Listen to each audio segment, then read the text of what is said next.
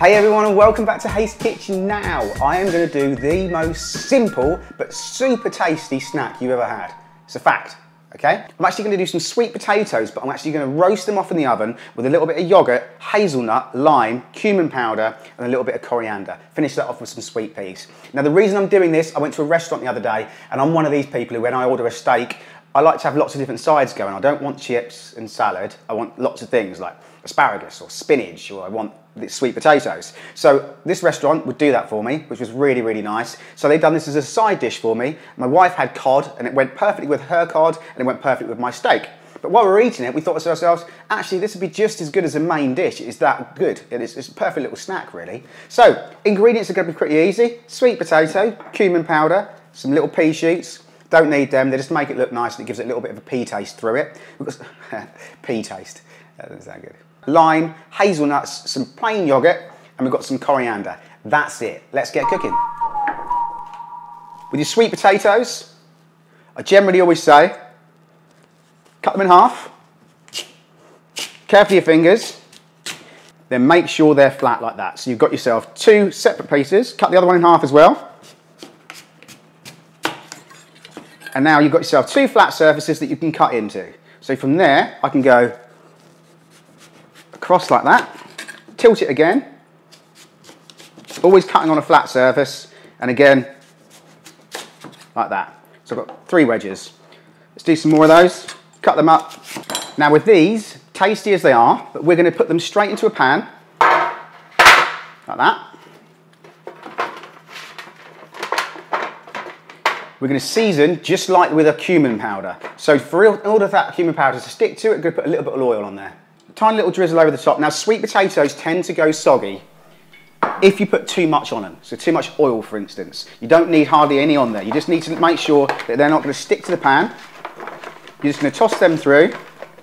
And onto that, you're going to just go in with a little bit of your cumin powder. So just sprinkle roughly over the top, making sure that each one gets a little taste a little bit of taste, a little bit of flavour. Onto that, a little bit of salt.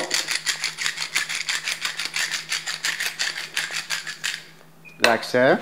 And they are good. Now they're going to go in the oven for about 15 to 20 minutes at full heat of your oven, so about 450 Fahrenheit or 230 Celsius, into the oven. Now while they're cooking away, we're going to take some of our yogurt, we're going to take our lime, Squeeze that across your table so it gets all the juices released when you cut into it. Cut that in half. I'm just to squirt that straight into your yogurt. So you're going to use pretty much the juice of one whole lime. Keep back one of your sections. You're just going to use that for garnish. Give that a little stir through. And into there, I'm actually going to take a little bit of chilli. So using your chilli, seeds as well, absolutely fine. You want a bit of heat in there as well. Now there's a little bit of chili. You're going to do half and half. So half of that goes into your yogurt. Just mix that through. And the other half we're going to use to garnish the plate in a second. A little bit of coriander. About that much. And again, just roughly chop that.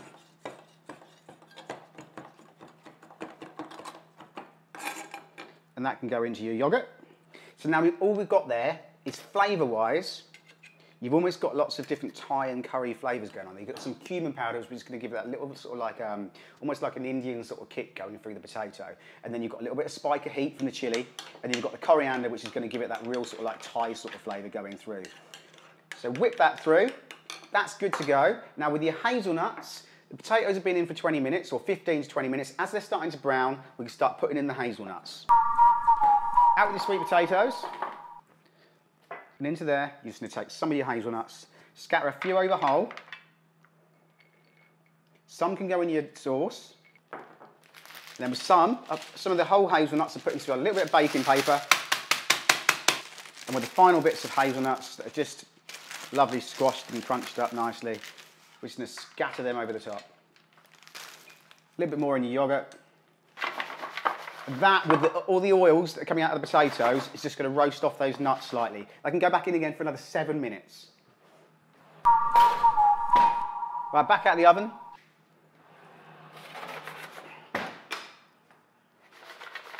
And they have toasted off perfectly. all you're going to do with this is grab yourself a nice bowl, and you're just going to literally just chuck these amongst it. Some of your hazelnuts. Then onto there, we're just going to take off some of our coriander, roughly chop that again, sprinkle that just over the top, then some of our cool yogurt, just going to place that over the middle. A little bit of lime just on the side, and then we're going to take off a few of our pea shoots, like that, and then just a tiny amount of our chilies. So there we have it, our crispy sweet potatoes roasted off with hazelnut, lime, coriander, a little bit of yogurt, a little bit of chili, and a little bit of sweet pea, all done with a little bit of cumin powder. Simple, simple, healthy lunch super tasty, super good to share, or stick it with a bit of steak and stick it with a bit of fish and it'll be awesome. Hope you like the video guys. Um, as always, go to hastekitchen.com. New website is still being built at the moment, but I've been promised it's going to be with us within the next couple of weeks, so it'll be more updated and more um, interactive with the recipes. Follow me on Instagram, Haste Kitchen. Twitter, Haste Kitchen, all the standard ones I say every week. Um, hope you enjoyed this one, guys, and I shall see you next week. Cheers, then. Bye bye.